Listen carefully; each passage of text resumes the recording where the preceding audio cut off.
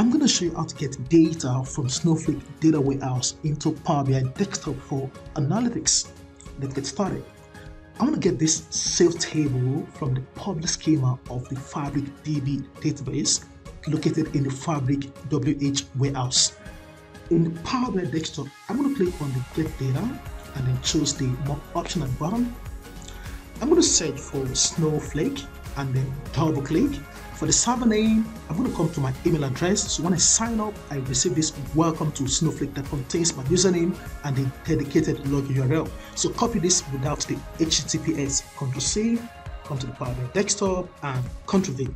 My warehouse is Fabric WH and then click on OK in the intermediate window, want to sign into the Snowflake account. Again, I'm going to provide the username, so Abiola David 01, and then for the password, I'm going to type that in and then click on connect. There we go. So we can see all the databases in the warehouse. So I want to access this Fabric DB database, and then I want to access this public schema and I can see the sales table. Click on that, you can see the preview and then click on transform data. Now you can choose the connection settings, you can choose the import or the direct query. So we want to actually import into the Power BI desktop. So click on the OK button and there we go. So we have it in the Power Query editor. I'm going to right click and choose duplicate.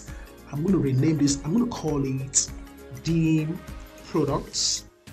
Click enter I'm going to come to the product column, right click and choose remove other columns. And then I'm going to right click and remove duplicates.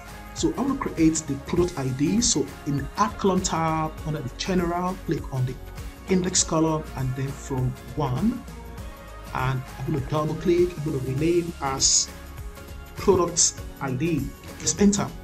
And then I can come to the home tab, I can close and apply. So we have the two tables. Now I'm going to right click to just create a single total sales measure. So choose new measure and I'm going to call this total sales and I'm going to use the sum x function. I'm going to iterate over the sales table and then I want to aggregate the sales amount column. Close the bracket, press enter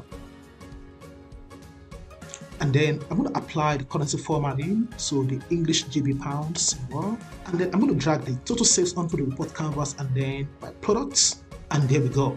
So this is basically how we can get data from Snowflake Data Warehouse into the Power BI desktop. I hope you enjoyed this video. If you do, give it a thumbs up and comment in the section below.